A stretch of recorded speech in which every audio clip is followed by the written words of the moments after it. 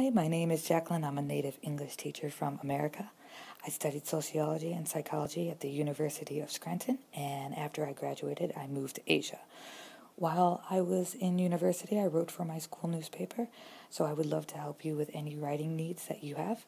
While I was in Hong Kong, I really focused on business English and speaking with my adult students.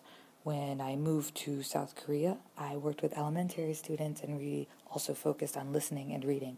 So I have a wide range of things that I could teach you, and I absolutely love teaching.